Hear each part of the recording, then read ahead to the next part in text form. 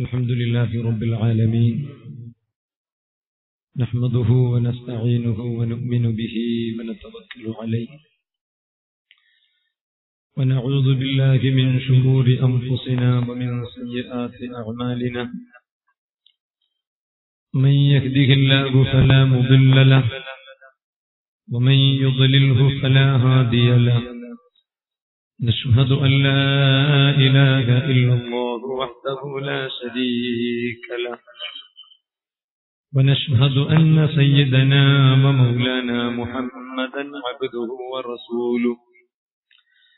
أرسله بالهدى ودين الحق ليظهره على الدين كله ولو كره المشركون.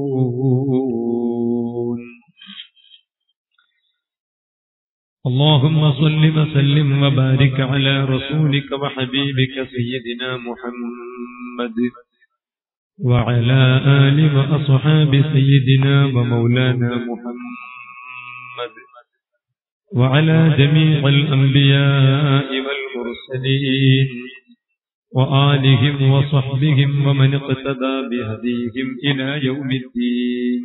أما بعد. فأعوذ بالله من الشيطان الرجيم. بسم الله الرحمن الرحيم.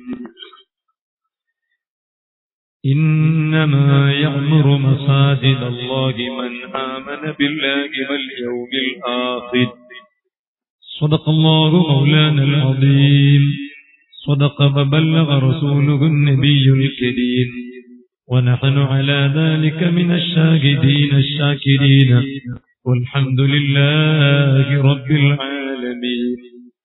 وقال النبي سيدنا محمد رسول الله صلى الله عليه وسلم من بنى لله مسجدا بنى الله له بيتا في الجنة مثله.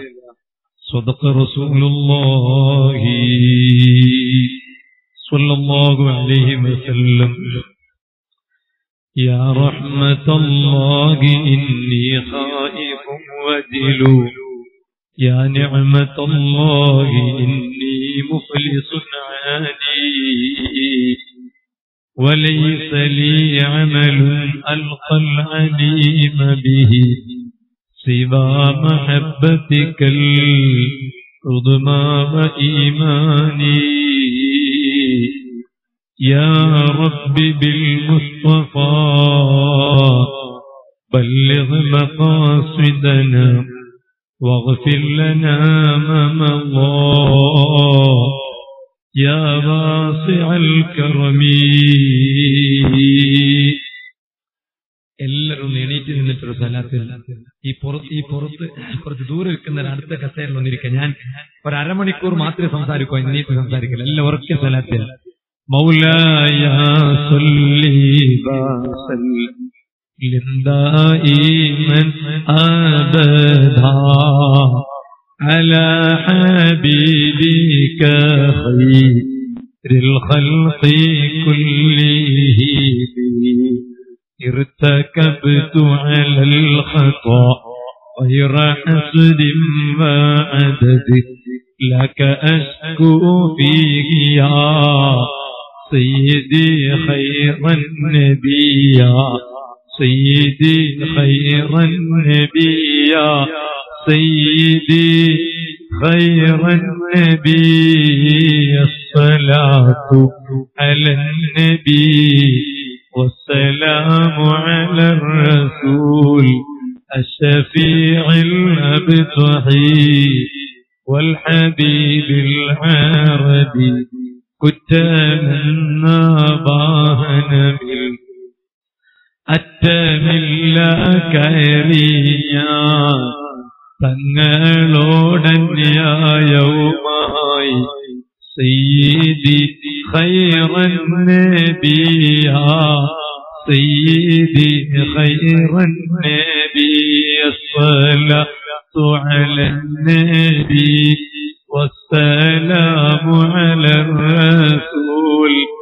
الشفيع الأبتحي والحبيب العربي كبي يقتل വസ്തുവിനെ പോലെ കാമാഞ്ഞ നിങ്ങളെ കൽബകം എന്നോവർ ബിൽ ഖുത്ബി റബ്ബാനി والغوث الصمداني نجينا من كل آفات يا الله എഴുപത് വാതിൽ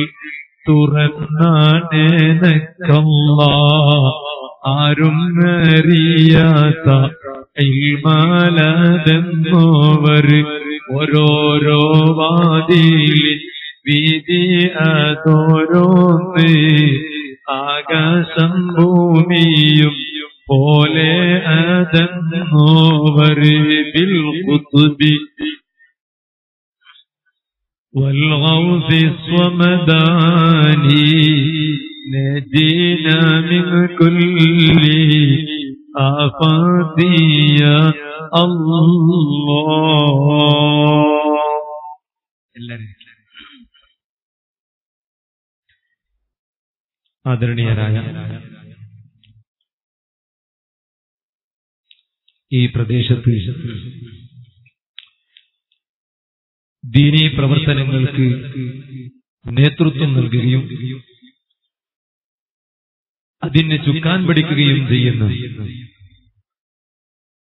ജലീൽ സമ്പാദ്യ ഉസ്താദ് ഉൾപ്പെടെയുള്ള പണ്ഡിതന്മാർ നല്ലവരായ സത്യവിശ്വാസികൾ ഉമ്മപെങ്ങന്മാർ അല്ലാഹു റബ്ബ് സുബ്ഹാനഹു വ തആല ഈ മനോഹരമായ പള്ളിയുടെ പരിസരത്ത് നാം ഇതുവരെ ഒരുമിച്ച് കൂടിയതും തുടർന്നുള്ള നമ്മുടെ ഇരുത്തവുമെല്ലാം അള്ളാഹു നമ്മിൽ നിന്ന് സ്വീകരിക്കുമാറാവട്ടെ. നാളെ ഹബീബായ അഷ്റഫുൽ ഖൽക്ക് മുഹമ്മദ് റസൂലുള്ളാഹി സ്വല്ലല്ലാഹു അലഹി വസല്ലമ തങ്ങളുടെ പിന്നിൽ അണിനിരന്ന് സ്വർഗത്തിൽ കിടക്കുന്ന മുഅ്മിനീങ്ങളിൽ മുഅ്മിനാത്തുകളിൽ സാധുക്കളായ നമ്മെയും നമ്മോട് ബന്ധപ്പെട്ട മുഴുവൻ ആളുകളെയും അള്ളാഹു ഉൾപ്പെടുത്തി അനുഗ്രഹിക്കുമാറാവട്ടെ. അമീൻ എന്ന് ആമുഖമായി ദുആ ചെയ്യുകയാണ്. സുഹൃത്തുക്കളെ കുറെ നേരം സംസാരിച്ച് ഈ ക്ഷീണിച്ച് തളർന്നിരിക്കുന്ന നിങ്ങളെ ഒന്നും കൂടി കിടത്താൻ ഞാൻ ഉദ്ദേശിക്കുന്നില്ല. നമ്മുടെ നേതാക്കൾ ഈ പള്ളി നിർമ്മാണം ഈ മനോഹരമായ പള്ളി ഇപ്പൊ ഈ അടുത്ത ദിവസങ്ങളിൽ വാട്സപ്പിൽ ഫുള്ള് രഞ്ച പള്ളിയാണ് കാണുന്നത് അപ്പൊ ഈ മനോഹരമായ പള്ളി ഇവിടെ ഉയർന്നു വരാൻ ഏറ്റവും പ്രധാനപ്പെട്ട കാരണക്കാരനായ നമ്മുടെ എല്ലാവരുടെ നേതാവ് മൗലാന പേരോട് ഉസ്താദ് അള്ളാഹു ആഫിയത്തുള്ള ദീർഘായുസ് നൽകുമാറാവട്ടെ. ഉസ്താദ് അവരുകൾ ഉൾപ്പെടെ നമ്മുടെ കർണാടകയിൽ നമ്മുടെ സുന്നത്ത് ജമാഅത്തിന്റെ പ്രവർത്തനങ്ങൾക്ക് ഏറ്റവും ഉയർന്ന സ്ഥാനത്ത് നമുക്ക് നേതൃത്വം നൽകിക്കൊണ്ടിരിക്കുന്ന സമസ്ത കർണാടക ജമഴിയത്തുൽ ഉലമയുടെ അജയ്യനായ പ്രസിഡന്റ് സമസ്ത കേരള ജമഴിയത്തുൽ ഉലമയുടെ നാൽപ്പത് മുഷാബറ അംഗങ്ങളിൽ ഏറ്റവും പ്രധാനിയുമായ ആദരണീയരായ ബേക്കൾ ഉസ്താദ് മാണി ഉസ്താദ് അതുപോലെ നമ്മുടെ ധാരാളം സാധാത്തുക്കളും ആലിമീകളും ഇവിടെ വന്ന് പ്രസംഗിച്ച് നിങ്ങളെ സന്തോഷിപ്പിച്ച് പോയവരാണ്. അതുകൊണ്ട് തന്നെ ഇനി ഒരു നീണ്ട സംസാരത്തിന് ഇവിടെ അവസരവും ഇല്ല ആവശ്യവും ഇല്ല. ഞാനാണെങ്കിൽ ഉജിറയുടെ തൊട്ടടുത്ത് പള്ളിത്തടുക്ക എന്ന സ്ഥലത്ത് ഉച്ചയ്ക്ക് ബഹുര നിസ്കാരത്തിന് ശേഷം ഭക്ഷണം കഴിഞ്ഞ് പ്രസംഗം തുടങ്ങി. മൂന്നര മണിക്കൂർ നാല് മണിക്കൂർ അവിടെ പ്രസംഗിച്ച് ഇങ്ങോട്ട് വന്നത്. നാല് മണിക്കൂർ പ്രസംഗിക്കാൻ കാരണം അവിടെ നമുക്ക് ദുആക്ക് നേതൃത്വം നൽകേണ്ടിയിരുന്നത് ബഹുമാനപ്പെട്ട നമ്മുടെ എല്ലാവരുടെയും പ്രതീക്ഷയും പ്രത്യാശയുമായിരുന്ന ഷെയ്ഖുന വസയ്യിദുന അല്ലാഹു ഉലമയുടെ മൂത്ത മകനും കൂറത്ത തങ്ങളുടെ ജ്യേഷ്ഠ സഹോദരനുമായ ഹാമിദ് ഇമ്പിച്ചുകോയ തങ്ങളവരുകളുടെ ദുആയായിരുന്നു. തങ്ങളവരികൾ വേദിയിലെത്താൻ ഒരൽപ്പം വൈകിയതുകൊണ്ട് ഏകദേശം നാല് മണിക്കൂറോളം പ്രസംഗിച്ചു. ആ പ്രസംഗിച്ചതിന്റെ കുറവോ ഉഷാറോ എന്നെനിക്കറിയില്ല. എന്റെ ശബ്ദത്തിൽ നിങ്ങൾ മനസ്സിലാക്കുന്നുണ്ട് എന്ന് ഞാൻ മനസ്സിലാക്കുകയാണ്. അതുകൊണ്ട് ആരെയും വിഷമിപ്പിക്കാതെ അല്പം ചില കാര്യങ്ങൾ മാത്രം നിങ്ങളുടെ ശ്രദ്ധയിൽപ്പെടുത്തി ഞാൻ എന്റെ സംസാരം നിർത്തുകയാണ്. സഹോദരന്മാരെ ലോഹുവിന്റെ ഭവനമായ പള്ളി അത് ഒരു നാട്ടിലുള്ള സത്യവിശ്വാസികളുടെ ദീനീ കേന്ദ്രമാണ്. ഇപ്പൊ ഈ രഞ്ജത്തെ പള്ളി ഈ നാട്ടിലെ സത്യവിശ്വാസികളുടെ ദീനീ കേന്ദ്രമാണ്. അഷ്റഫുൽ റസൂലുള്ളാഹി. സ്വലാത്ത് ചൊല്ലണം. അല്ലെങ്കിൽ ഞാൻ പ്രസംഗിക്കുമ്പോൾ ഉറങ്ങിപ്പോവും. എനിക്ക് അങ്ങനത്തെ ഒരു സ്വഭാവമുണ്ട്. അഷ്റഫുൽ മുഹമ്മദ് റസൂലുള്ളാഹി. അലൈഹി വസല്ലം. നബി സല്ലല്ലാഹു അലൈഹി വസല്ലം തങ്ങൾ മക്കയിൽ നിന്ന് മദീനയിൽ പോയി. മക്കയിൽ സംഘടനാ പ്രവർത്തനം നടത്തി മക്കയിൽ ദീനീ പ്രവർത്തനം നടത്തി ആ മക്കയിലെ ഇസ്ലാമിന്റെ വിരോധികളുടെ ശത്രുത സഹിക്കാൻ വയ്യാതെ അള്ളാഹുവിന്റെ ഏകൽ പ്രകാരം മക്കയിൽ നിന്ന് മദീനയിലേക്ക് പോയി. ആ മദീനയിലേക്ക് കടന്നു ചെന്ന നബി സല്ലല്ലാഹു അലൈഹി വസല്ലം ആ മദീനയിൽ തന്റെ പ്രവർത്തനങ്ങളെ മുഴുവനും കേന്ദ്രീകരിക്കാനായി മദീനയിൽ മനോഹരമായ പള്ളി പണിതത് ഇസ്ലാമിന്റെ ചരിത്രത്തിൽ ഇന്നും നമുക്ക് കാണാൻ കഴിയുന്നതാണ് ഏതൊരു നാട്ടിലെ ദീനീ പ്രവർത്തനങ്ങളെ കേന്ദ്രീകരിക്കുന്നത് ആ നാട്ടിലുള്ള പള്ളിയിലൂടെയാണ് എന്നത് നമുക്കറിയുന്ന കാര്യമാണ്.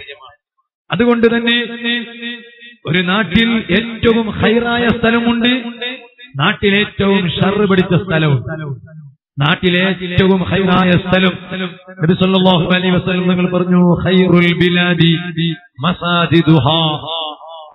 ഒരു നാട്ടിൽ ഏറ്റവും ഹൈറായ സ്ഥലം ആ നാട്ടിലുള്ള അള്ളാഹുവിന്റെ ഗേഹങ്ങളായ പള്ളികളാണെന്ന് അഷ്റഫുൽ ഖൽഖ് സല്ലല്ലാഹു അലൈഹി വസല്ലം തങ്ങൾ പറഞ്ഞു. എന്നാൽ ഒരു നാട്ടിലെ ഏറ്റവും ഷർറ് പിടിച്ച സ്ഥലം ഏതാണ്? ബിലാദി. ആ നാട്ടിലെ ഏറ്റവും ഷർറ് പിടിച്ച സ്ഥലം ആ നാട്ടുകളിലുള്ള നാടുകളിലുള്ള അങ്ങാടിയാണ് എന്ന് നബി അലൈ വസല്ലം നിങ്ങൾ പറഞ്ഞു. നിങ്ങളുടെ കൈകളിലേക്കൊക്കെ ഭക്ഷണത്തിന്റെ പൊതി എത്തിക്കൊണ്ടിരിക്കുന്നുണ്ട്. ആ തബറുക്കിന്റെ ഭക്ഷണം വാങ്ങാതെ ആരും പോകരുത്. ഇപ്പോൾ തന്നെ ആരും തുറന്ന് കഴിക്കേണ്ടതുമില്ല. കാരണം കുറെ നീട്ടിയിട്ടൊന്നും ഞാൻ പ്രസംഗിക്കില്ല ഞാൻ വേഗം നിർത്തും.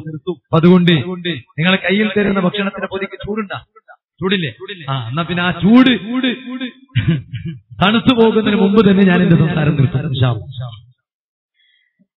അപ്പൊ നാട്ടിലെ ഏറ്റവും ഹൈറായ സ്ഥലം പള്ളിയാണ്. അതുകൊണ്ട് തന്നെ മുമിനിങ്ങളെ നമ്മുടെ വീടുകളെ പോലെയല്ല അമ്മോഹുവിന്റെ വീട്. നമ്മുടെ വീടിൽ പറ്റാത്ത പലതും അള്ളാഹുവിന്റെ വീടിൽ പറ്റും. നമ്മുടെ വീടിൽ പറ്റുന്ന പലതും അള്ളാഹുവിന്റെ വീടുകളിൽ പറ്റൂല. അപ്പൊ നിങ്ങൾ നോക്കൂ നമ്മുടെ വീട്ടിൽ നമ്മുടെ കുട്ടികൾ മൂത്രിച്ചാൽ സാരല്ല. അതേ സമയത്ത് പള്ളിയിൽ മൂത്രിക്കാൻ പറ്റൂല. നമ്മുടെ വീട്ടിൽ വീട്ടിന്റെ ഉള്ളിൽ തുപ്പിയാലും സാരല്ല. ചിലപ്പോ ഭാര്യമാർക്ക് വെറുപ്പ് തോന്നും. ഭാര്യമാർക്ക് വിഷമം തോന്നും. തുപ്പിയത് കൊണ്ടൊന്നും സംഭവിക്കൂല. അതേ സമയത്ത് പിറ്റേന്ന് രാവിലെ ഭക്ഷണത്തിന്റെ കരിന്റെ സുവാദ് ഒരൽപ്പം കുറഞ്ഞു പോകും. അത് ഭാര്യന്റെ മനസ്സിലുണ്ടാക്കിയ വേദനയാണ് ഈ തുപ്പിയതിലൂടെ എന്ന് മനസ്സിലാക്കാൻ കഴിയും.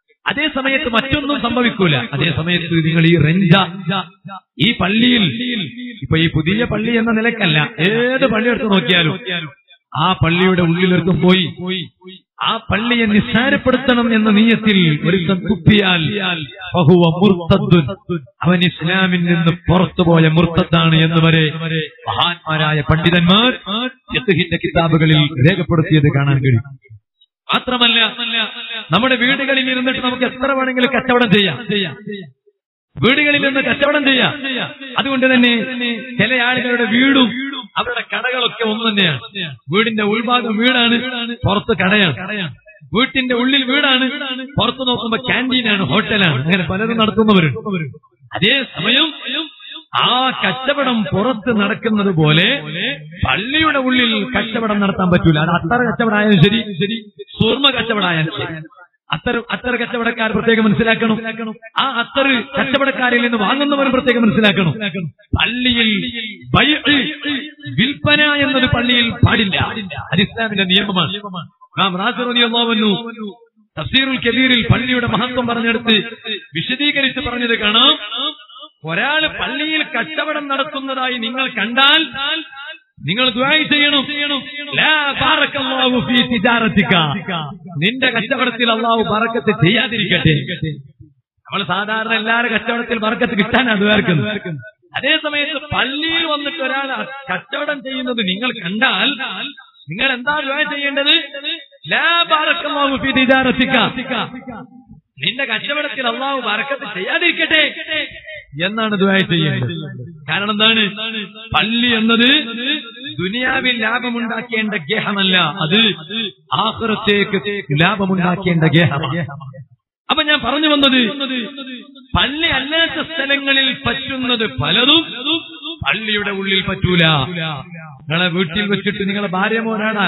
കുട്ടികളോട് എത്ര ഒച്ചട്ടിട്ട് സംസാരിച്ചാലും ഒച്ച പോകുന്നല്ലാതെ വേറൊന്നും വരാനില്ല. ചിലപ്പോ ഭാര്യയും ഭർത്താവും തമ്മിൽ വലിയ പ്രശ്നമാണ്. ഒരു വീട്ടിൽ ഞാൻ തമാശയ്ക്ക് വേണ്ടി വർക്ക് തൂങ്ങാതിരിക്കാൻ വേണ്ടി പറയാണ്. വീട്ടിൽ ഭയങ്കര ചിരി ഒരു വീട്ടിൽ ഭാര്യ ഭർത്താവ് ഭയങ്കര ചിരി. രാത്രി രാത്രി എല്ലാരും ഉറങ്ങല്ലേ?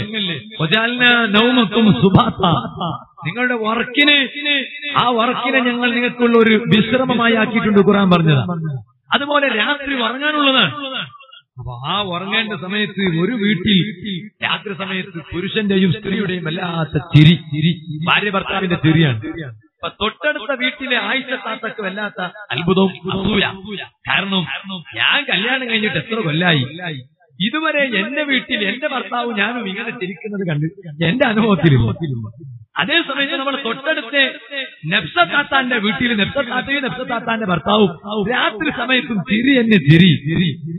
പിറ്റേന്ന് രാവിലെ പ്രഭാതം പുലർന്നതിന് ശേഷം ആയിഷത്താത്ത നെപ്സത്താത്തനോട് ചോദിച്ചു അല്ല നെപ്സത്താത്ത എപ്പോ നോക്കിയാലും രാത്രി സമയത്ത് ഞങ്ങളൊക്കെ കൂർക്കം പിടിച്ച് ഉറങ്ങുന്ന സമയത്ത് നിങ്ങൾ വല്ലാതെ ചിരിക്കുകയാണല്ലോ. അത്രയും ഐക്യത്തിലാണോ നിങ്ങൾ ഭാര്യയും ഭർത്താവും? ആ ആ തിരിയുടെ മാന നിങ്ങൾക്ക് മനസ്സിലായിട്ടില്ല. ആ തിരി എന്താണെന്ന് വെച്ചാൽ നമുക്ക് എപ്പോ നോക്കിയാലും പ്രശ്നമാണ്. ഗലാട്ട ഗുലുമാൽ. കുഴപ്പം അപ്പൊ ഗലാട്ട ഗുലുമാലിന്റെ കാര്യം ചിരിക്കുവോ? ചിരിക്കൂല. പിന്നെ നിങ്ങൾ ചിരിക്കണത്? ഞങ്ങൾ ചിരിക്കാൻ കാരണം ഈ ഗുലുമാലിന്റെ ലാസ്റ്റ് എന്താ പറയുക? ഒരു ചെറിയ യുദ്ധം നടക്കും. ആ യുദ്ധം വാളുകൊണ്ടല്ല മറിച്ച് എന്റെ കാലിൽ ധരിച്ച ചെരുപ്പിന് ഞാൻ എന്റെ ഭർത്താവിന് വലിച്ചെറിയും. ഭർത്താവിന്റെ കാലിലുള്ള ചെരുപ്പിന് ഭർത്താവ് ഇങ്ങോട്ട് വലിച്ചെറിയും. ഞാൻ എറിയുന്ന ചെരുപ്പ് ഭർത്താവിന്റെ മേത്തക്ക് കൊണ്ടാൽ ഞാൻ ചിരിക്കും. കൈകൊട്ടി ഞാൻ ചിരിക്കും. ഭർത്താവ് എനിക്കറിയുന്ന ഏറുകൊണ്ട് എന്റെ നേട്ടക്ക് കൊണ്ടാൽ ഭർത്താവും ചിരിയും ആ ചിരിയാണിത് അല്ലാതെ നല്ല ചിരിയൊന്നുമല്ല ഈ രാത്രി തന്നെ തികയ്ക്കുന്ന ചിരി അപ്പൊ ഞാൻ പറഞ്ഞു വന്നത് ഇങ്ങനെ വീട്ടിൽ ചിരിയും പറ്റും കളിയും പറ്റും തമാശയും പറ്റും ഉറക്ക സംസാരം പറ്റും സംസാരം പറ്റും പറ്റും. അതേ സമയത്ത് അള്ളാഹുവിന്റെ ഭവനമായ പള്ളി ആ പള്ളിയിൽ ഒരു തോന്നിവാസ സംസാരവും പറ്റൂല. ഒരു അനാവശ്യ സംസാരവും പറ്റൂല. കാരണം അതല്ലാഹു ബഹുമാനിച്ച വീടാണ്. അതുകൊണ്ടല്ലേ മദീനത്തെ പള്ളിയിൽ നിങ്ങൾ ശരിക്കും മനസ്സിലാക്കണം? മദീനത്തെ പള്ളിയിൽ രണ്ട് ചെറുപ്പക്കാര് ബഹളം വെച്ച് സംസാരിക്കുന്നുണ്ട്. ഇന്നത്തെ നമ്മുടെ എല്ലാ ജനറൽ ബോഡിയും പള്ളിയിലാണ്. ഞാൻ ഒരു കാര്യം ഇപ്പൊ ഇവിടുത്തെ ജമാഅത്ത് കമ്മിറ്റിക്കാരോട് പറയട്ടെ. ജനറൽ ബോഡി മാത്രം പള്ളിയിൽ വെച്ച് നടത്തരുത് കേട്ടോ. കാരണം ജനറൽ ബോഡിയിൽ നിയന്ത്രിക്കാൻ ഏത് തങ്ങളുണ്ടെങ്കിലും ഏത് മുസ്ലിയാരുണ്ടെങ്കിലും ഇവിടെ ഗുലുമാൽ ഗുലുമാൽ തന്നെ കത്തിയും തൊന്നയും പിടിക്കും എന്റെ ഭാഷയിൽ പറഞ്ഞാൽ. അതുകൊണ്ട് ഒരിക്കലും ജനറൽ ബോഡി പള്ളിയിൽ നടത്തരുത്. തൊട്ടടുത്ത എവിടെയെങ്കിലും പള്ളി അല്ലാത്ത സ്ഥലം മദ്രസയിലാണെങ്കിലും തരക്കേടില്ല. എന്നാലും മദ്രസയാണെന്ന് കരുതിയത് കത്തിലൊന്നും പഠിക്കാൻ പറ്റൂല. കുട്ടികൾ പഠിക്കുന്ന കേന്ദ്രമാണത്. ഞാൻ പറഞ്ഞു വന്നത് മദീനത്തെ പള്ളിയിൽ രണ്ട് ചെറുപ്പക്കാര് ബഹളം വെച്ച് സംസാരിക്കുന്നു. ആ സംസാരിക്കുന്നത് കണ്ടു. ആരാണ് കണ്ടത്? ബഹുമാനപ്പെട്ട ഇസ്ലാമിക് റിപ്പബ്ലിക്കിന്റെ രണ്ടാമത്തെ പ്രൈം മിനിസ്റ്റർ. ഇബ്നുൽ ഖത്താബ് റളിയല്ലാഹു അൻഹു കണ്ടപ്പോൾ അവരോട് ചോദിച്ചു പിന്നെ അതിനന്തുമാ നിങ്ങൾ പള്ളിയിൽ വെച്ച് ബഹളം വെച്ച് സംസാരിച്ചിരിക്കേ. നിങ്ങൾ ഏത് നാട്ടുകാരാണ് രണ്ടുപേർ അവർ വേഗം പറഞ്ഞു മിനൽ യമൻ മിനൽ മദീന. ഞങ്ങൾ ഈ നാട്ടുകാരല്ല. ഞങ്ങൾ മദീനക്കാരല്ല. ഞങ്ങൾ യമനുകാരാണ്. കാരണം അവർക്കറിയാം ഉമർബുൽ ഖത്താബ് സ്വഭാവം അവർക്കറിയാം ഏക്മാർ പച്ചീസ് തുപ്പട. ഒരു ബാത്തിലെങ്കാലും കണ്ടാൽ അപ്പോൾ തന്നെ അവനെ ഇരുത്തേന്റെ അടുത്ത് ഇരുത്തുന്ന മഹാനാണ് അതുകൊണ്ട് തന്നെ ഇന്ന് ഉമ്മമാര് കുട്ടികൾ ഭക്ഷണം കഴിക്കാൻ കേൾക്കുന്നില്ലെങ്കിൽ വേഗം കിടന്നുറങ്ങാൻ കേൾക്കുന്നില്ലെങ്കിൽ ഉമ്മമാർ നടത്തുന്ന ഒരു ട്രിക്സ് ഉണ്ട്. എന്റെ വാത കേൾക്കുന്ന ഉമ്മമാർ സദസ്സിലുള്ളത് കൊണ്ട് ഞാൻ പറയാം. എന്താ ഉമ്മമാർ പറയാ? എന്റെ ഭാഗത്ത് എന്റെ കളസ ചിക്കമാംഗ്ലൂർ ആ ബാരി നക്കിടിക്ക് സംസാരിക്കുന്ന ഭാഗത്തൊക്കെ പറയും. ഉറങ്ങല അല്ലെങ്കിൽ ഇപ്പൊ ജോയ് പണ്ട് ജോയ് ജോയ്. ജോയ് വരുന്നു എന്ന് പറഞ്ഞപ്പോഴേക്ക് കുട്ടി ഉറങ്ങിപ്പോയി. പക്ഷെ ഇന്നേ വരെ എന്റെ ഉമ്മ എന്നെ കിടത്തിയൊരു അങ്ങനെ തന്നെയായിരിക്കും. ഇന്നേ വരെ അകത്തൊരു ജോയിനെ ഞാൻ കണ്ടിട്ടുണ്ട് ജോയി ഐസ്ക്രീമിന് ജോയി ആലുക്കാസൊക്കെ ഞങ്ങൾ കാണുന്നുണ്ട്. ഈ ജോയിനെ ഇന്നേ വരെ പടത്തറപ്പിന്റെ തോപ്പിക്കൊണ്ട് ഞങ്ങൾ കണ്ടിട്ടില്ല. അതേസമയം സയ്യിദുനാ ഉമർ ഇബ്നുൽ ഖത്താബ് റളിയല്ലാഹുവിന്റെ കാലഘട്ടത്ത് ഒരു കുട്ടിയെ ഒരു തള്ള ഉറക്കണമെങ്കിൽ ആ ഉമ്മ സ്വീകരിക്കുന്ന എന്താണ്? ഉറങ്ങണം. അല്ലെങ്കിൽ ഇപ്പൊ ജോയി വരുമെന്നല്ല. ഇപ്പൊ വരും ഉമർ വരും. ഉമർബിൻ ഖത്താബ് വരുമെന്ന് പറയുന്നത് കേട്ടപ്പോഴേക്ക് ആ കുട്ടി അങ്ങ് ഉറങ്ങിപ്പോയി. കാരണം എല്ലാവർക്കും പേടി സ്വപ്നമാണ് ഉമർബിൻ ഖത്താബ്. ഏത് കാലഘട്ടത്തും ഉണ്ടാവും. പുത്തൻവാദികൾ രംഗത്ത് വരുമ്പോ അല്ലെങ്കിൽ പുതിയ പുതിയ സുന്നത്ത് ജമാത്തിൽ നിന്ന് തെരിച്ചുപോയ പ്രസ്ഥാനക്കാര് രംഗത്ത് വരുമ്പോ ഏത് കാലഘട്ടത്തും അവരെ ഇരുത്തേണ്ടടുത്ത് ഇരുത്തുന്ന കെൽപ്പുള്ള പണ്ഡിതന്മാരുണ്ട്. അങ്ങനെ ആ കാലഘട്ടത്തുണ്ടായ ഖത്താബ്. സുന്നത്ത് ജമാഅത്തിന്റെ വിരോധികൾക്ക് മറുപടി പറഞ്ഞിരുന്ന മഹാനാണ് മഹാനവരുകൾ. ആ കാലഘട്ടത്തിൽ അതുകൊണ്ടല്ലേ നിങ്ങൾ നോക്കൂ? മദീനത്തെ പള്ളിയിലെ രണ്ട് ചെറുപ്പക്കാർ ബാളം വെച്ച് സംസാരിക്കുന്നത് കേട്ടപ്പോ അവരോട് ചോദിച്ചു മക്കളെ നിങ്ങൾ ഏത് നാട്ടുകാരാണ്? അവർ പറഞ്ഞു ഞങ്ങൾ മദീനക്കാരല്ല ഞങ്ങൾ യമനുകാരാണ്. കാരണം അവർക്കറിയാം മദീനക്കാരെന്ന് പറഞ്ഞാൽ നാ പിന്നെ ഈ നാട്ടുകാര് തന്നെയാണോ? നിങ്ങൾ ഈ പള്ളിയിൽ ബാളം വെച്ച് സംസാരിക്കുന്നത് ശരിയല്ലെന്ന് പറഞ്ഞിട്ട് അവരെ തലയങ്ങ് എടുക്കൂന്ന് അവർക്കറിയാം. അതുകൊണ്ട് അവർ പറഞ്ഞു ഞങ്ങൾ ഈ നാട്ടുകാരല്ല ഞങ്ങൾ പുറം നാട്ടുകാരാണ്. അതുകൊണ്ട് ഞങ്ങളെ നിങ്ങൾ ഒന്നും ചെയ്യരുത് എന്ന് പറഞ്ഞു നിങ്ങളെങ്കാലും മദീനത്തുകാരായിരുന്നുവെങ്കിൽ നിങ്ങളെ നീളം ഞാൻ കുറച്ചു തരൂ. ഹൈറ്റ് ഞാൻ കുറക്കുമായിരുന്നു. ഹൈറ്റ് കുറക്കണമെങ്കിൽ കൂടുതൽ കാര്യമൊന്നും ചെയ്യേണ്ട തല വെട്ടിയാൽ മതി. പിന്നെ ആവറേജ് എണ്ണുന്നത് ഷോൾഡറിന്റെ കീഴിലാണ്. ഞാൻ പറഞ്ഞു വന്നത് അപ്പൊ പള്ളിയിൽ ബഹളം വെച്ച് സംസാരിക്കരുത്. അത് പള്ളിയുടെ മഹത്വമാണ്. അതുകൊണ്ടാണ് ഒരാൾ ദുനിയാവിന്റെ തോന്നിവാസ സംസാരം പള്ളിയിൽ വെച്ച് സംസാരിച്ചാൽ മരിക്കുന്ന സമയത്ത് അവന്റെ നാമങ്ങൾ പടഞ്ഞു പോകൂ. കെലിമ അവനെ കൊണ്ട് സാധ്യമല്ല. എന്തേ കാരണം? കാരണം നീ നിസ്കരിച്ചവനാണ് നോമ്പ് നോക്കിയവനാണ് ദിക്ര ചൊല്ലിയവനാണ് സ്വരാത്ത് ചൊല്ലിയവനാണ്. ആ നാവ് കൊണ്ട് നീ ഒരു കുറ്റം ചെയ്തു മനുഷ്യ. എന്താണ് നീ ചെയ്ത കുറ്റം? അള്ളാഹുവിന്റെ ഭവനമായ പള്ളിയിൽ വെച്ച് നീ തോനിവാസം സംസാരിച്ചു പോയി. ഞാൻ പറഞ്ഞു വന്നത് ആ പള്ളിയെ ഞങ്ങൾ ബഹുമാനിക്കണം. ഓ മുഗ്മിനീങ്ങളെ സാധുവായ ഞാനിവിടെ വന്ന് സംസാരിക്കുന്നു. നമ്മുടെ നേതാവായ ബഹുമാനപ്പെട്ട പേരോട് ഉസ്താദ് അതുപോലെ ബേക്കൽ ഉസ്താദ് അതുപോലെ മാണി ഉസ്താദ് അതുപോലെ കുമ്പോൾ സദാതുക്കൾ എത്ര തിരക്ക് പിടിച്ചവരാണ് അവരൊക്കെ. സുബാനല്ലാ സാധുവായ ഞാനിപ്പൊ ചിന്തിക്കുകയാണ്. ഞാൻ ഒരു പരിപാടി കഴിഞ്ഞ് അടുത്ത പരിപാടിയിലേക്ക് വരുമ്പോഴേക്ക് എനിക്ക് തളർച്ച വന്നുപോയി. പിന്നെ രണ്ടാമത്തെ അടുത്ത് എനിക്ക് പ്രസംഗിക്കാൻ കഴിയുന്നില്ല. വണ്ടിയിൽ തന്നെ കുറെ യാത്ര ചെയ്യാൻ കഴിയുന്നില്ല. ആ സമയത്തൊക്കെ ഞങ്ങൾ ചിന്തിക്കുകയാണ്. നമ്മെ നമ്മെ പോറ്റി വളർത്തിയ നമ്മുടെ ഉസ്താദുമാർ നമ്മുടെ നേതൃത്വത്തിലുള്ള നേതാക്കൾ അവരെത്രയാണ് ദീനിന് വേണ്ടി പോരാട്ടം നടത്തിയത്? ആ ദീനിനെ വളർത്തുന്നതിന്റെ പേരിൽ എത്ര ആരോപണങ്ങളാണ് അവർ കേട്ടത്? പക്ഷേ അവർക്ക് എത്ര വിഷമങ്ങൾ സഹിച്ചാലും അവരിവിടെ വന്നു. പേരോട് ഉസ്താദ് ഇവിടെ വന്നു. ഉസ്താദ് ഇവിടെ വന്നു. മാണി ഉസ്താദ് ഇവിടെ വന്നു. അവരൊക്കെ വന്നതിന്റെ ലക്ഷ്യം എന്താണ്? ഇപ്പൊ എനിക്കറിയാം നിങ്ങൾക്ക് ഒരേ നേരം ഇവിടെ ഇരിക്കുകയാണ്. എന്നാലും സാധുവായ ഞാനിപ്പോ സംസാരിക്കുമ്പോ നേരത്തെ ഞാൻ സംസാരം തുടങ്ങുമ്പോൾ ഇല്ലാത്ത ആളുകൾ വരെ ഞാൻ സദസ്സിൽ കാണുന്നുണ്ട്.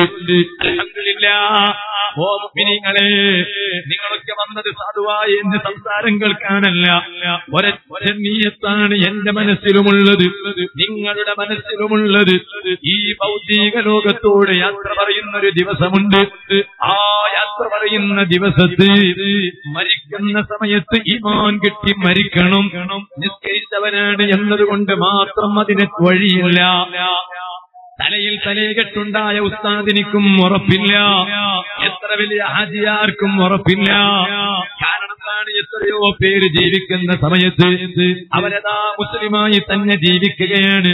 പക്ഷേ മരിക്കുന്ന സമയത്ത് എത്ര പണ്ഡിതന്മാരുണ്ടായിരുന്നു ലൗഹുൽ മഹഫൂദ് നിങ്ങൾക്കറിയില്ലേ? സാധുവായ എന്റെ നിങ്ങൾ എന്താണ് ചെയ്യേണ്ടത് എന്നതിനെ കുറിച്ച് മുഴുവൻ റെക്കോർഡ് ചെയ്ത് സൂക്ഷിക്കപ്പെട്ട ലൗഹൽ മഹഫൂദ് ആ ലൗഹൽ മഹഫൂദിലേക്ക് നോക്കിയിട്ട് കാര്യങ്ങൾ പറഞ്ഞിരുന്ന വലിയ പണ്ഡിതനായിരുന്നില്ലേ? ബൽഹമുബിന് ബാഹുറായി ആ ബൽഹമുബിന് ബാവുറാങ് പോലും അവസാനം ഈമാനില്ലാതെ ചത്തുപോയത് ഇസ്ലാമിന്റെ ചരിത്രത്തിലില്ലേ? മുപ്പിനിങ്ങളെ ഞാൻ എവിടെ നിൽക്കുന്നു? നിങ്ങൾ എവിടെ നിൽക്കുന്നു? ലോകത്ത് കഴിഞ്ഞു പോയ വലിയ വലിയ മഹാന്മാര് ആ മഹാന്മാരുടെ അന്ത്യത്തിന്റെ ചരിത്രം കേൾക്കുമ്പോഴും നമ്മുടെ മനസ്സങ്ങ് വേദനിക്കുന്നു. കേട്ടിട്ടില്ലേ നിങ്ങൾ ബഹുമാനപ്പെട്ട ഫഖറുദ്ദീൻ റാസി? ആരാണ്? പരിശുദ്ധ ഖുർആാന് വ്യാഖ്യാനം എഴുതിയ മഹാനാണ്. ഇന്ന് ധാരാളം ഖുർആാനിന്റെ തഫ്സീർ ഗ്രന്ഥങ്ങൾ കാണാൻ കഴിയും. കഴിയും. ആ കൂട്ടത്തിൽ ഏറ്റവും വലിയ തഫ്സീർ ഏതാണ്? പുത്തൻവാദി പോലും തോലിക്കും ഏതൊരു സുന്നത്ത് ജമാഅത്തിന്റെ ആശയത്തിന് തെളിവ് പറയുമ്പോഴും പുത്തൻവാദി ചോദിക്കും അതിമാം റാസി റളിയല്ലാഹുവിന്റെ തഫ്സീരിലുണ്ടോ? അങ്ങനെ എല്ലാവരും സമ്മതിക്കുന്ന തഫ്സീർ. ആ റസീമാം രചിച്ചതല്ലേ ആ റസീമാം എത്ര വലിയ പണ്ഡിതനാണ്. എത്ര വാല്യങ്ങളുള്ള തഫ്സീറാണ്. പക്ഷേ ആ റാസിമാമങ്ങ് വഫാത്താകുന്ന സമയത്ത് ഞാൻ ഈ പറയുന്ന ചരിത്രം നിങ്ങളുടെ മനസ്സിലങ്ങ് കുത്തിവെക്കണം കാരണം ഈമാൻ മരിക്കുക എന്നതാണ് നമ്മുടെ ലക്ഷ്യം.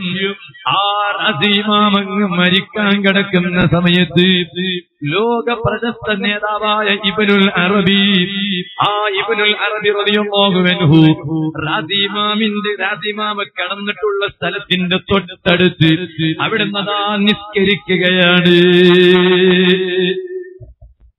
ഇമാം റാസി റളിയല്ലാഹു അൻഹു വഫാത്താകാൻ കിടക്കുന്നു. തൊട്ടടുത്ത സ്ഥലത്ത് സയ്യിദുന ഇബ്നുൽ അറബി നിസ്കരിക്കുകയാണ്. ആ നിസ്കരിക്കുന്ന സമയത്ത് ഇബ്നുൽ അറബി റളിയല്ലാഹു എന്ത് ചെയ്തു അറിയോ?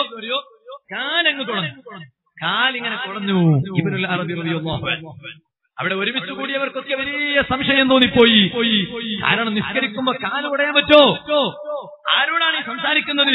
എം പിയോടാ എം എൽ എയോടാ പ്രധാനമന്ത്രിയോടാ സി എമ്മിനോടാ ചീഫ് മിനിസ്റ്ററിനോടാ സിദ്ധരാമയ്യനോടാ ഉമ്മൻചാണ്ടിയോടാ. അല്ല ഈ സംസാരിക്കുന്നത് യജമാനനായ ഖാലിഖായ റബ്ബുൽ ആ സൃഷ്ടാവിനോടാണ് അപ്പൊ സൃഷ്ടാവിനോട് സംസാരിക്കുന്ന സമയത്ത് കാൽ ചലിപ്പിക്കാൻ പറ്റോ? ഇതാരാ കാൽ ചലിപ്പിച്ചത്?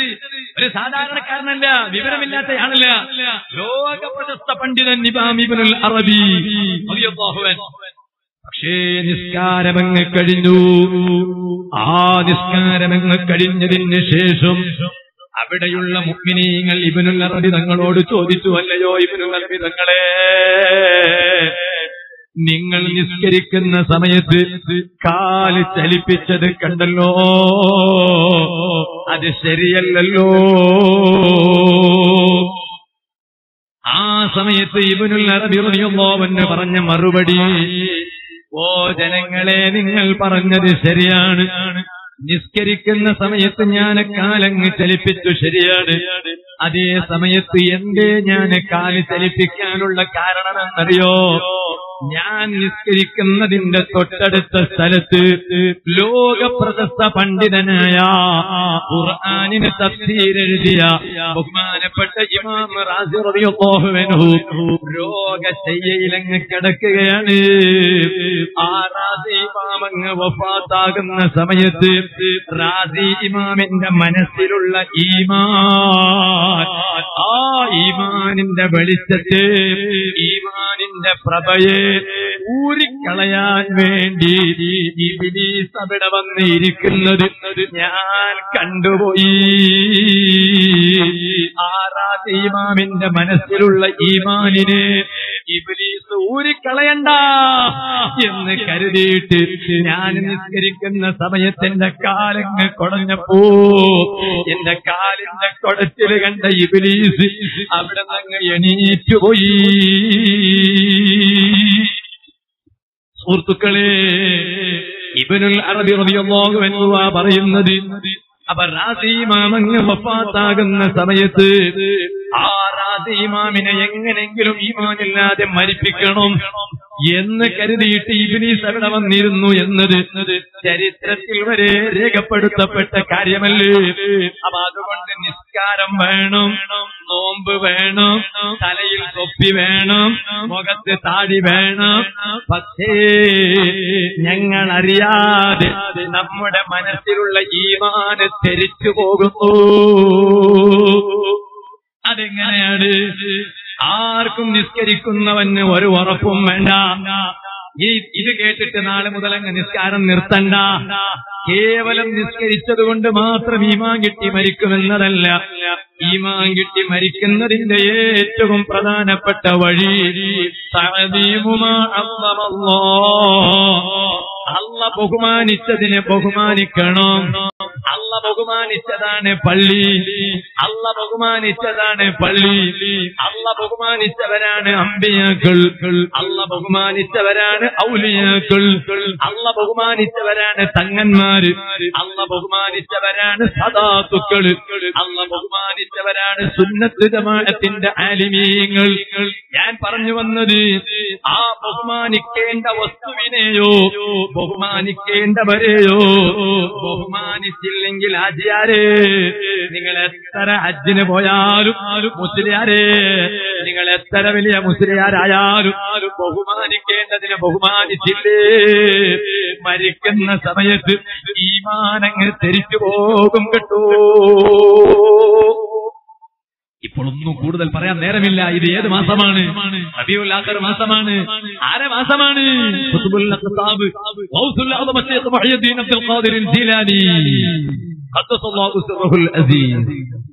മഹാനവരുകളുടെ കഴിവ് അത് പറഞ്ഞു തീർക്കാൻ സാധ്യമല്ല. ധാരാളം കറാമത്ത് നിങ്ങൾ കേട്ടവരാണ്. ഞാനിപ്പോൾ അതിലേക്ക് കടക്കുന്നില്ല. ചെറുപ്പത്തിൽ തന്നെ കറാമത്ത് കാണിച്ചു. ചെറുപ്പത്തിൽ തന്നെ പ്രസവിച്ച ഉടനെ റമദാൻ മാസമായാൽ മഹാനവരികൾ ഉമ്മാന്റെ മുലപ്പാൽ തൊടുന്നില്ല. അതുവരെ മുലപ്പാൽ കുടിച്ചിരുന്ന മഹാനവരികൾ റമദാനിൽ മുലപ്പാൽ കുടിക്കുന്നില്ല. കാരണം മഹാനവരികൾക്ക് ബാഹുത്താന കറാമത്തിന്റെ പവർ കൊടുത്തുപോയി വലിയ പ്രായപൂർത്തിയായതിനു ശേഷം മാത്രമല്ല ചെറുപ്പത്തിൽ തന്നെ കറാമത്ത് കിട്ടിപ്പോകും. ഞാൻ ഓർക്കുന്നു രണ്ട് മൂന്ന് ദിവസം മുമ്പ് നമ്മുടെ ഭട്കൽ കഴിഞ്ഞ് ഗോവയിലേക്ക് പോകുന്ന വഴി മുരുടേശ്വര എന്ന് പറയുന്ന ഒരു സ്ഥലമുണ്ട്. ഏകദേശം ഭട്കലിൽ നിന്ന് പതിനഞ്ച് കിലോമീറ്റർ അപ്പുറം. ഞാനിപ്പോ ഈ അടുത്ത് അവിടെ പ്രസംഗത്തിന് പോയി ഹനപ്പിക്കാർ സംഘടിപ്പിച്ച പരിപാടിയിൽ. അങ്ങനെ അവിടെ പ്രസംഗത്തിന് പോകുമ്പോ ഞാൻ ഉസ്താദുമാർക്ക് വേണ്ടി പറയാം. ആ ഭട്കൾ സുന്നത്ത് ജമാഅത്തിന്റെ വലിയ കേന്ദ്രമായിരുന്നു. ഭട്കലിൽ ധാരാളം മഹാന്മാരുടെ കബറുകളുണ്ട് മക്ബറകളുണ്ട് ഉസ്താദുമാർക്കറിയാം മുത്താലിമീങ്ങൾക്കറിയാം കേരളത്തിൽ കേരളത്തിൽ പറയേണ്ട പോണ്ടിച്ചേരി എന്ന് പറയാം. മാഹിക്കടുത്ത് കുഞ്ഞിപ്പള്ളി പള്ളി എന്നൊരു സ്ഥലമുണ്ട്. അവിടെ വെള്ളത്തിന് വലിയ വില കുറവാണ് ബാക്കിയൊക്കെ വില കൂടുതലാണ്. വെള്ളത്തിന് വലിയ വില കുറവ് ഏത് വെള്ളം? വാഹനത്തിനിടയ്ക്കുന്ന വെള്ളം പെട്രോൾ ഡീസൽ മറ്റൊന്ന് മനുഷ്യൻ കുടിച്ചിട്ട് നശിക്കാൻ പോകും നശിക്കാൻ പോകുന്ന വെള്ളമല്ലേ കള്ള് അതിനും വില വില കുറവാണ് ആ കുഞ്ഞിപ്പള്ളിക്കടുത്ത് മാഹിക്കടുത്ത് കുഞ്ഞിപ്പള്ളി എന്ന സ്ഥലത്ത് മരപ്പെട്ട് കിടക്കുന്ന സൈനുദ്ദീൻ ആ മഹാനവരുകൾ എന്ന കിതാബ് രചിച്ച മഹാനാണ്. സാധുക്കളായ നമുക്ക് നമ്മുടെ ഉസ്താദുമാർ ഓതി തന്നിട്ടുണ്ട്. ഇന്ന് ആ ഉസ്താദുമാരുടെ പൊരുത്തവും വർക്കത്തുകൊണ്ട് നമ്മുടെ ശിഷ്യന്മാർക്ക് ഞങ്ങൾ ഓതിക്കൊടുക്കുന്നുണ്ട്. ആ ഫത്ഹുൽ മുഈൻ എന്ന കിതാബ് സൈനുദ്ദീൻ മഖ്ദൂം റളിയല്ലാഹു അൻഹു രചിച്ചതാണ് എങ്കിൽ ആ സൈനുദ്ദീൻ മഖ്ദൂം റളിയല്ലാഹു അൻഹുവിന്റെ ഉസ്താദ് മഖ്ദൂം അലി ഷാ റളിയല്ലാഹു അൻഹു മഹാനവരുകളെ ഖബർ ബക്കറിൽ ഉണ്ട് മഖ്ബറ. ഞാൻ പറഞ്ഞതല്ല ചാലിയത്ത് മറപ്പെട്ട് കിടക്കുന്ന നാല് മധുഹബിലും ഫത്വ കൊടുക്കാൻ കേൾപ്പുള്ള മഹാനാണ് ബഹുമാനപ്പെട്ട അബു സഅദാസ് അഹ്മദ് കോയ സാലിയാത്തി അല്ലാഹു മർക്കദ.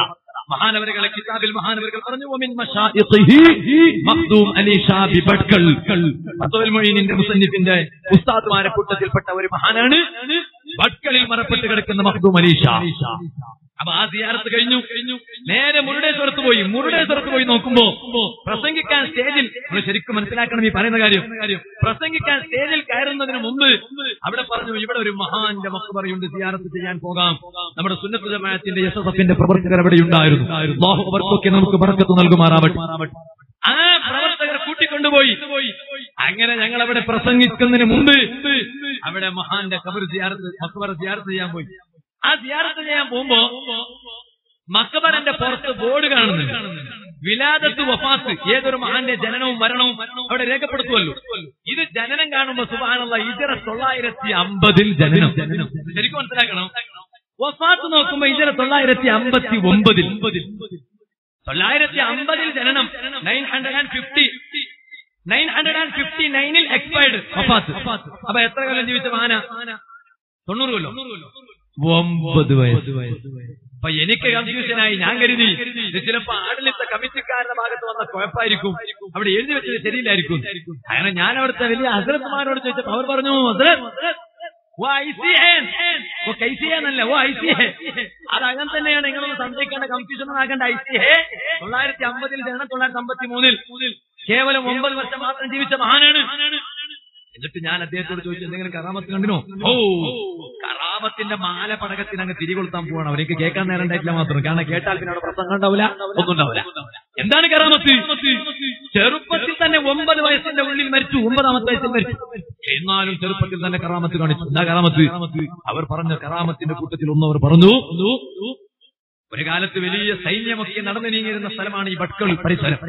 അതിന് അവിടെ കുതിര സവാരിക്കാരങ്ങ് പോകുന്ന സമയത്ത് ഈ മഹാന് വീട്ടിന്റെ മുറ്റത്ത് ഇങ്ങനെ ഇരിക്കാൻ അന്ന് ചെറിയ സമയം. അന്ന് നമ്മളൊക്കെ ചട്ടിയിടുന്ന കാലാന്ന് പറയും. ഈ മഹാൻ അങ്ങനത്തെ അങ്ങനത്തെ ആളല്ല. അങ്ങനെ ക്ലിപ്പാക്കിരണ്ട അപ്പോ നമ്മൾ ഈ പരിപാടി മുഹിമാത്ത ഡോട്ട് കോമിലൂടെ ലോകത്തിന്റെ വിവിധ ഭാഗങ്ങളിൽ നിന്ന് ആളുകൾ കൊണ്ടിരിക്കുന്നു ക്ഷണിച്ചുകൊണ്ടിരിക്കുന്നു.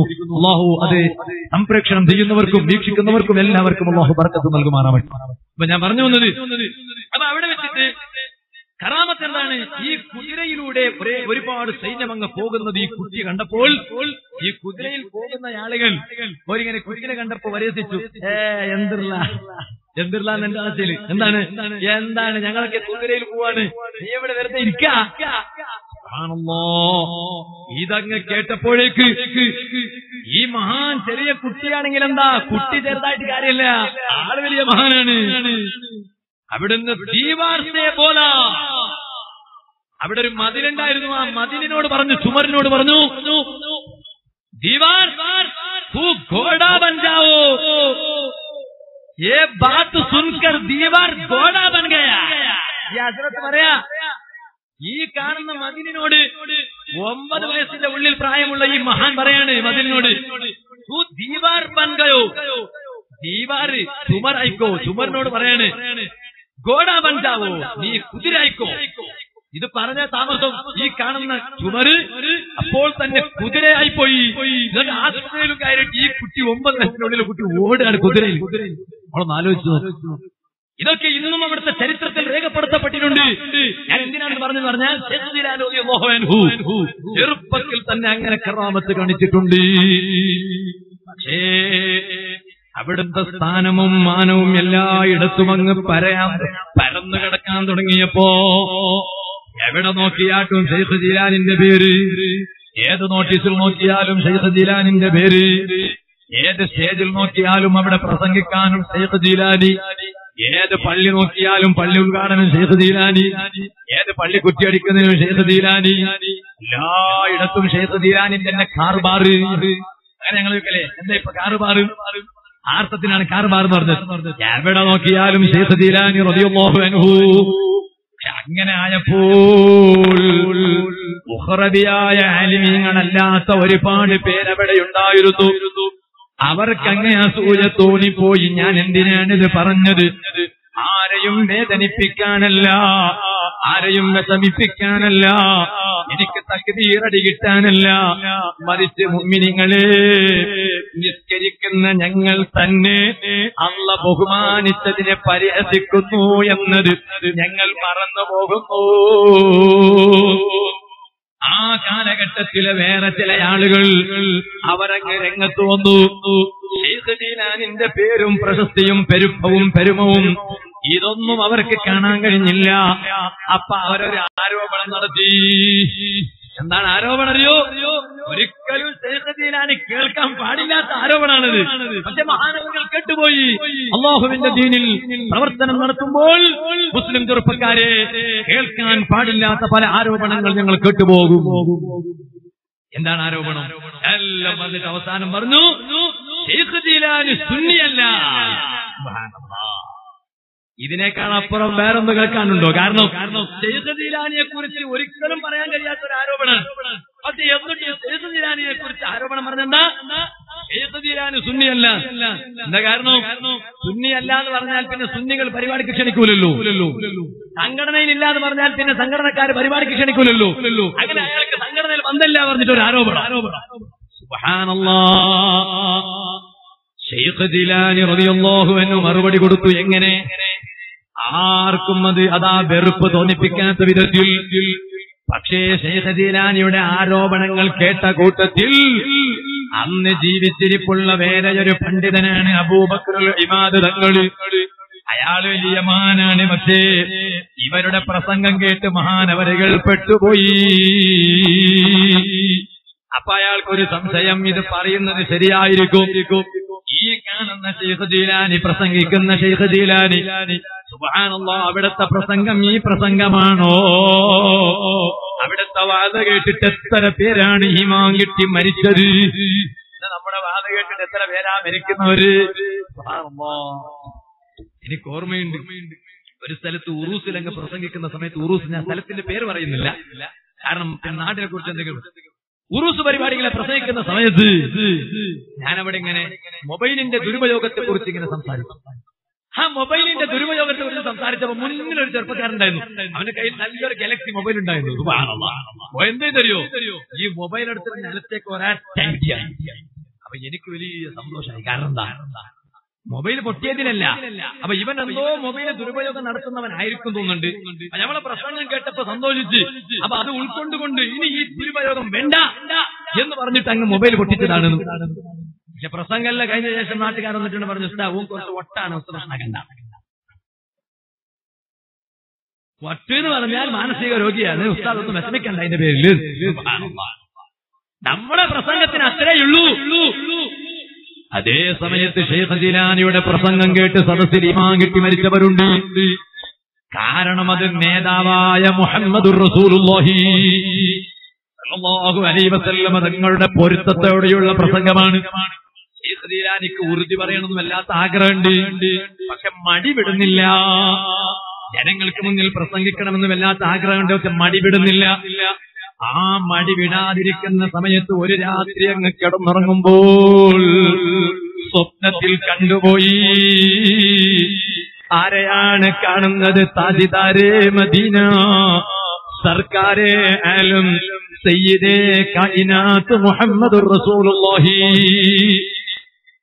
സല്ലല്ലാഹു അലൈഹി വസല്ലമ തങ്ങളെ അങ്ങ് കണ്ടു സ്വപ്നത്തിൽ നബി തങ്ങളെ ചോദിച്ചു പേരക്കുട്ടിയാണല്ലോ പുള്ളിയാണല്ലോ എന്റെ അബ്ദുൽ ഖാദിർ മുഖത്തൊരു വിഷമം കാണുന്നുണ്ടല്ലോ? ആ സമയത്ത് പറഞ്ഞു നബിയേ എനിക്ക് അള്ളാഹുവിന്റെ പൊരുത്തം പ്രതീക്ഷിച്ചുകൊണ്ട് സ്ഥാനമാനത്തിനല്ല പേരിനോ പ്രശസ്തിക്കോ അല്ല. എന്റെ പ്രാത് കേൾക്കാൻ ഒരുപാട് പേര് തടിച്ചുകൂടുന്നു എന്നതുകൊണ്ടല്ല ഏത് ഉറൂസിന്റെ നോട്ടീസിലും മീലാദ് പരിപാടിയുടെ നോട്ടീസിലും എന്റെ പേര് കാണണമെന്നത് കൊണ്ടല്ല അള്ളാഹുവിന്റെ പൊരുത്തത്തിന് വേണ്ടി ജനങ്ങളെ ഉപദേശിക്കണമെന്ന് ആഗ്രഹമുണ്ട്. പക്ഷേ മടി എന്നെ അനുവദിക്കുന്നില്ല. ഇതങ്ങനെ പറഞ്ഞപ്പോ ശേഷ റളിയല്ലാഹു അൻഹുവിനോട് നബി സല്ലല്ലാഹു അലൈഹി വസല്ലം തങ്ങൾ പറഞ്ഞു മോനെ അബ്ദുൽ ഖാദിർ ഇഫ്തഹ് ഫമക് മോനെ വാ തുറക്കു മോനെ. അവിടുന്ന് സയ്യിദ് ജീലാനി അവിടുന്ന് വായ തുറന്നു. ഫത്തഫല നബി സല്ലല്ലാഹു അലൈഹി വസല്ലം ഫീ ഫമിഹി. അബ്ദുൽ ഖാദിർ ജീലാനി നബി അങ്ങ് തുപ്പിക്കൊടുത്തു. അന്ന് പിറ്റേന്ന് പ്രഭാതം പൊട്ടിപ്പുലർന്നതിന് ശേഷം സുബ്ഹാനല്ലാഹ് ഗംഭീരമായ പ്രഭാഷണം തന്നെ.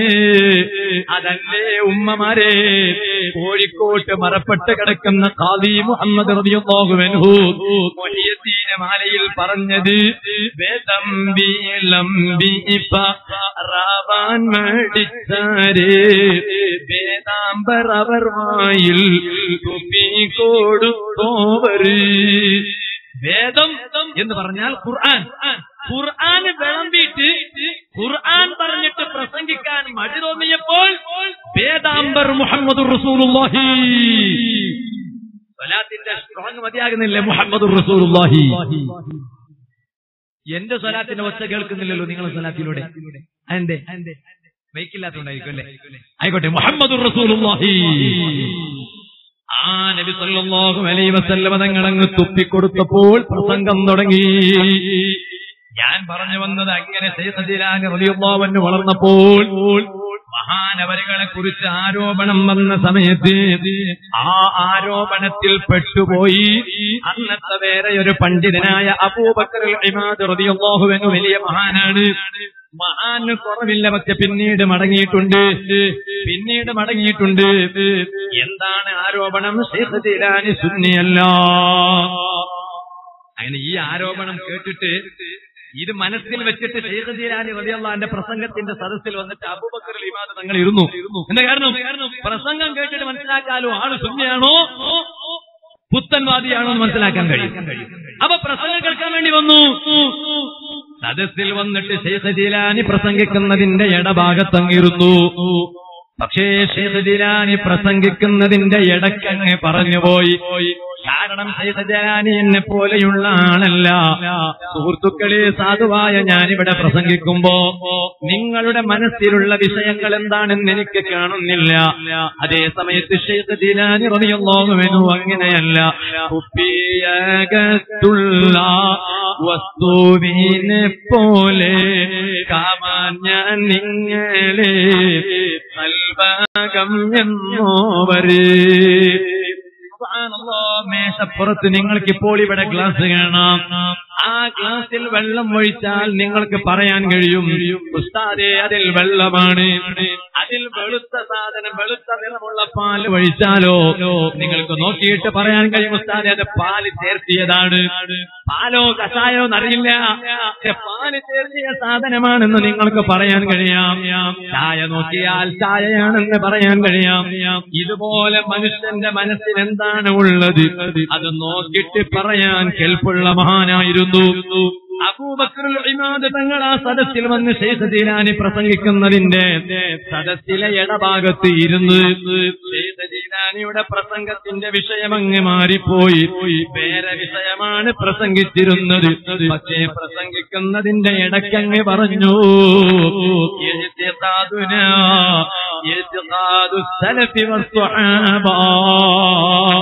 ഓ ജനങ്ങൾ എന്നെ കുറിച്ച് ഒരു ആരോപണമുണ്ട്. ഞാൻ സുന്നിയല്ല എന്നൊരാരോപണമുണ്ട് ഞാൻ സംഘടനയിലില്ല എന്നൊരാരോപണമുണ്ട് സംഘടനയ്ക്ക് ഞാൻ സപ്പോർട്ട് നൽകുന്നില്ല എന്നൊരാരോപണമുണ്ട്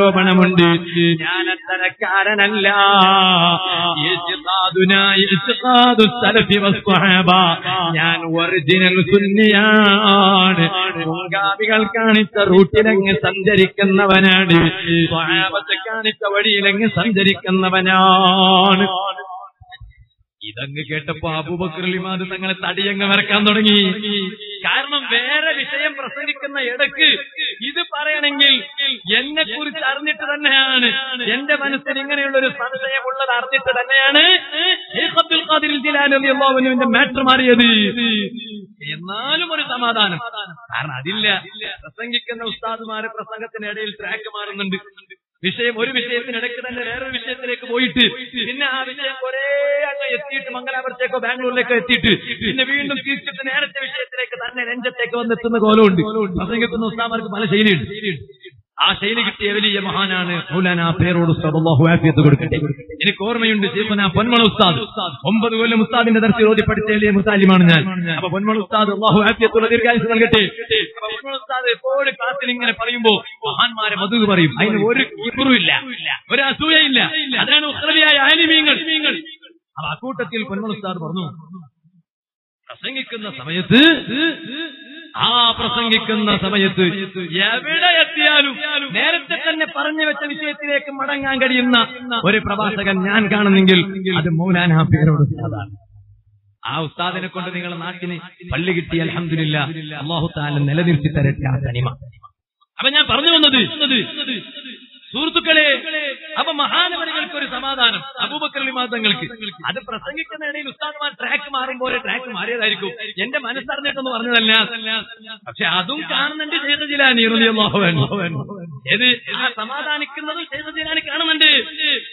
അപ്പോഴാണ് പറഞ്ഞത്. നേരെ ഇടഭാഗത്തേക്ക് അങ്ങ് തിരിഞ്ഞു. അബൂബക്കർ അഴിമാനങ്ങൾ ഇരിക്കുന്ന ഭാഗത്തേക്ക് അങ്ങ് തിരിഞ്ഞിട്ട് പറഞ്ഞു എഴുത്ത് സാധുന എഴുത്ത് സാധു സലഫി നമ്മുടെ വിശ്വാസം സുന്നത്ത് ജമാനത്തിനെതിരല്ല നമ്മുടെ വിശ്വാസം സുന്നത്ത് ജമാനത്ത് തന്നെയാണ്. ഇതങ്ങ് പറഞ്ഞപ്പോ വീണ്ടും കൂടി ഒരല്പം കൂടി ഒന്ന് മനസ്സിലായി. ഇത് എനിക്ക് വേണ്ടി തന്നെയായിരിക്കും പറയുന്നത്. എന്നാലും ഒരു സമാധാനോ അതിപ്പോ പ്രസംഗിക്കുന്ന സമയത്ത് ചിലപ്പോ പ്രസംഗിക്കുന്ന ഉസ്താദുമാർ ചിലപ്പോ അങ്ങോട്ട് തിരിയും. ചിലപ്പോ ഇങ്ങോട്ട് തിരിയും. ചിലപ്പോ മേലോട്ട് തിരിയും. ചിലപ്പോ താഴോട്ട് നോക്കും. അങ്ങനെ ഇടഭാഗത്ത് നോക്കിയതാണ് എന്നല്ലാതെ എന്റെ മനസ്സിലുള്ള കാര്യം അറിഞ്ഞിട്ടൊന്നുമല്ല. പക്ഷേ ആ ഡൗട്ടും അങ്ങ് ക്ലിയർ ചെയ്തു കൊടുക്കുന്നു. അപ്പ പറയുകയാണ് നേരെ മുഖത്ത് നോക്കിയിട്ട് അബൂബക്കർ ഇമാദ തങ്ങളെ മുഖത്ത് നോക്കിയിട്ട് പറഞ്ഞു ഇഴ്ത്തിഖാദുന സാധു സലഫി വസ്തു എന്നെ കുറിച്ച് സുന്നിയല്ല ആരോപണല്ലേ? മോനെ ഞാൻ സുന്നിയാണ്. മുൻഗാമികൾ നടന്ന റൂട്ടിലാണ് ഞാൻ സഞ്ചരിക്കുന്നത്. സ്വഹാബത്ത് കാണിച്ച റൂട്ടിലാണ് ഞാൻ സഞ്ചരിക്കുന്നത്. പേടി ഒന്നും കൂടി തുടങ്ങി. എന്നാലും സമാധാനം. എന്തേ അതിപ്പോ പ്രസംഗിക്കുന്ന സമയത്ത് പ്രസംഗിക്കുന്ന ഉസ്താദ് ഒരുത്തരത്തിന്റെ മുഖം നോക്കൂലേ? അപ്പൊ ഞാൻ നിങ്ങളുടെ മുഖത്ത് നോക്കിയാൽ നിങ്ങളുടെ മനസ്സിലുള്ളത് അറിഞ്ഞിട്ടാ എനിക്ക് ഞാൻ നിങ്ങളുടെ മുഖത്ത് നോക്കുന്നത്? ഇല്ല അത് നിങ്ങളുടെ മുഖം നോക്കേണ്ടി വരും. നോക്കുമ്പോ ഒരാളെ മുഖം തന്നെ ചിലപ്പോ നോക്കി വെച്ചാൽ ചിലപ്പോ അയാൾ പേടിച്ചിട്ട് അങ്ങ് എണീറ്റ് പോകും. ചിലപ്പോ ഇത് അസറായിലിട്ടാണോ സുലൈമാൻ നബി അലി ഇസ്ലാമിന്റെ സദസ്സിലേക്ക് അങ്ങനെയല്ലേ? അസറായി ഇസ്ലാം വന്നിട്ട് സുലൈമാൻ നബി ഇസ്ലാം ക്ലാസ് എടുത്തുകൊണ്ടിരിക്കുകയാണ് കൂട്ടത്തിൽ ശിഷ്യന്മാരിൽപ്പെട്ട ഒരാളെ മുഖത്തേക്ക് അസറായി വന്നിട്ട് ഇങ്ങനെ നോക്കി വെച്ചു. ഈ ശിഷ്യന്റെ പേടിയായി പോയി ആ മരണത്തിൽ നിന്ന് പേടിച്ചിട്ടല്ലേ പിന്നെ ഏതോ ഒരു ദ്വീപിൽ കൊണ്ടുപോയിട്ട് ആക്കിയത് കാറ്റിനൂടെ കിടക്കുന്നില്ല. അപ്പൊ അങ്ങനെ പലരെ മുഖത്തേക്ക് നോക്കും. അബൂബക്കർ മാത്രം മനസ്സിലാക്കി അങ്ങനെ എന്റെ മുഖത്ത് നോക്കിയതായിരിക്കും. അല്ലാതെ എന്റെ മനസ്സിലുള്ള കാര്യം അറിഞ്ഞിട്ടൊന്നുമല്ല. അവസാനം ഹൺഡ്രഡ് പെർസെന്റ് ഡൗട്ട് അങ്ങ് ക്ലിയർ ചെയ്തു കൊടുക്കുന്നു. അല്ല അല്ല ഒരു സമാധാനവും വേണ്ട. നേരെ അങ്ങ് പേര് വിളിക്കുന്നു യാ യാ യാ സലഫി നിങ്ങൾ ആരാരോ പ്രസംഗം കേട്ടിട്ട് ആരാരോ ചെവിയിൽ വന്നിട്ട് കഹോന പ്യാരഹ എന്ന് പറഞ്ഞിട്ട് അതും കേട്ടിട്ട് ആരോ ചെവിയിൽ വന്നിട്ട് കുച്ചു കുച്ചു ഹോത്തായ എന്ന് കേട്ടിട്ട് നിങ്ങൾ എന്നെ കുറിച്ച് ശുദ്ധിയല്ല വിശ്വസിക്കുന്നല്ലേ? അബൂബക്കർ വലിയ മഹാൻ ശരിയാണ് പക്ഷേ വിട്ടുപോകണ്ട.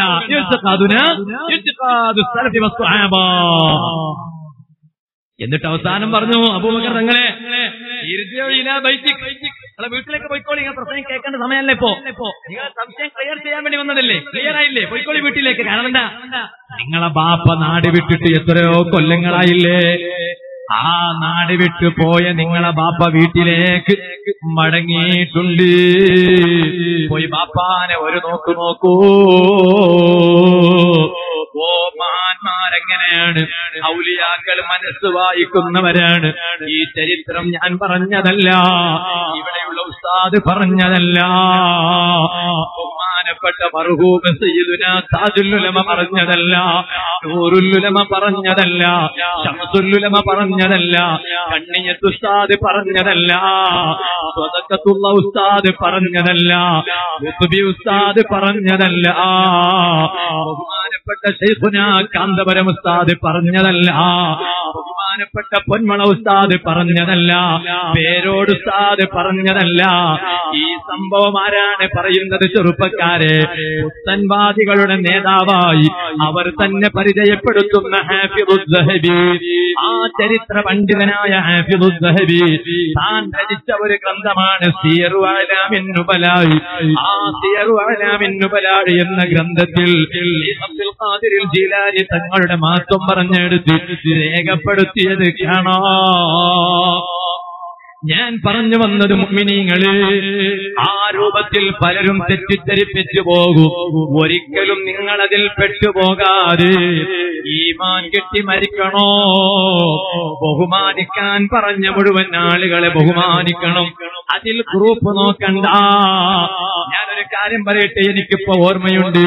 സാധുവായ ഞാൻ കാന്തപുരം ഉസ്താദ്. അല്ലാഹു അവിടുത്തെ കാഫിയത്തുള്ള ദീർഘായുസ് നൽകട്ടെ. ഞാൻ ചോദിക്കട്ടെ അവർക്കൊരു പ്രശ്നവുമില്ലല്ലോ ചെറുപ്പക്കാരെ. പിന്നെന്തിനാണ് ഞങ്ങൾ പരസ്പരം മുസ്ലിം സമുദായം അതിന്റെ പേരിൽ കലയിച്ചുകൊണ്ടിരിക്കുന്നത്? എനിക്ക് ഓർമ്മയുണ്ട് ഞാൻ ഉപ്പിനങ്ങാടിയിൽ വെച്ച്. അതാ പുത്തൻവാദികൾക്ക് മർക്കസിൽ പഠിക്കുന്ന സമയത്ത് ഞാൻ മറുപടി പറയാൻ പോയി. അത് നമ്മുടെ പവരല്ലേ അല്ല. നമ്മുടെ ഉസ്താദുമാര് പൊരുത്തം നിന്ന് പുറന്തട്ടിയിട്ടങ്ങ് അയച്ചതാണ്. പക്ഷേ എന്റെ പ്രസംഗം കേട്ട കൂട്ടത്തിൽ ആരോ ഒരാട് പ്രസംഗത്തെ കുറിച്ച് ഷീഫന ഉസ്താദ് അവരുകളോട് പറഞ്ഞു കൊടുത്തു. പിറ്റേന്ന് ഞാൻ അതാ മർക്കത്തിൽ പോയപ്പോ എന്നെ വീട്ടിൽ ഉസ്താദിന്റെ റൂമിലേക്ക് വിളിക്കുകയാണ്. ആ വിളിച്ച സമയത്ത് ഉസ്താദിനോട് പറഞ്ഞു ഉപ്പിനെങ്ങാണ്ടി ഒരു കാലത്ത് അത് ഷംസുലുലമയ്ക്ക് ഉസ്താദിന്റെ അനുയാളികൾ ധാരാളമുള്ള ആളുകളായിരുന്നു. അന്ന് എനിക്ക് വാഹനത്തിലൂടെ സഞ്ചരിക്കാൻ വരെ അവസരം തരാത്ത കാലമാണിരുന്നു. പക്ഷേ നീ അവിടെ ശംസുലുലമയുടെ പേരെടുത്തിട്ട് ദുരാഗ് ചെയ്ത് പ്രസംഗിച്ചത് കേൾക്കാൻ കഴിഞ്ഞു. പ്രസംഗം അങ്ങനെ തന്നെ തുടരട്ടെ. ഒരു മാറ്റവും വേണ്ട. ഓ മുമ്മിനിങ്ങൾ ആരെന്ത് പറഞ്ഞാൽ അത് കേട്ട് ടീമാനില്ലാതെ ചാകാൻ നോക്കണ്ട. ഞങ്ങളെ ഉസ്താദുമാരെ കണ്ടറിഞ്ഞത് ഞങ്ങളാണ്. ഞങ്ങളെ നേതാക്കന്മാരെ കണ്ടറിഞ്ഞത് ഞങ്ങളാണ്. ആ ഉസ്താദുമാരെ മനസ്സിലാക്കണം. ബഹുമാനപ്പെട്ട താജുല്ലുലമ അവരെ ബഹുമാനിക്കുന്നതിന് ഒരു കുറവും വേണ്ടട്ടോ.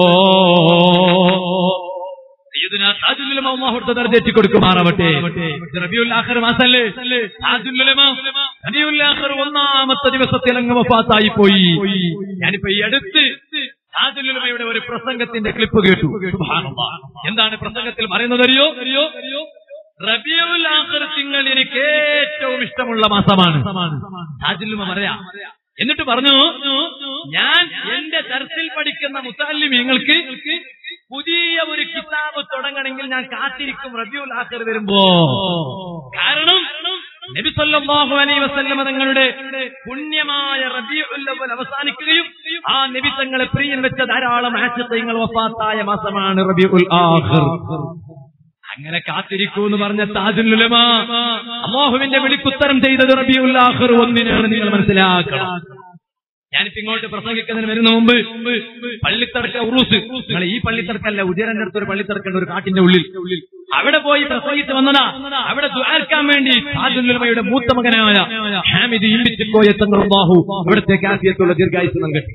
അപ്പൊ തങ്ങളവരുകൾ എന്റെ പ്രസംഗം കഴിഞ്ഞ് തങ്ങളവരുകൾ പ്രസംഗിക്കുമ്പോൾ എന്നോട് പറഞ്ഞു പറഞ്ഞു എന്നോട് നല്ല പ്രസംഗിക്കുന്ന മൊത്തം ആളുകളോട് പറഞ്ഞു എന്റെ ബാപ്പ മരിക്കുന്ന സമയത്ത് നിങ്ങൾ ആലോചിക്കണം അവരുടെ വഫാത്തൊക്കെ എങ്ങനെയാണ് നമ്മുടെ അവസ്ഥ എന്താണ്. എന്റെ ബാപ്പയായ താജുല്ലുലമ വഫാത്താകുന്ന സമയത്ത് എന്റെ മകൻ അതാ അവിടെ മംഗലാപുരത്ത് മെഡിക്കൽ കോളേജ് മെഡിക്കൽ മെഡിക്കൽ പഠിച്ചുകൊണ്ടിരിക്കുന്ന എന്റെ മകൻ. തങ്ങൾ പറയാണ് ആ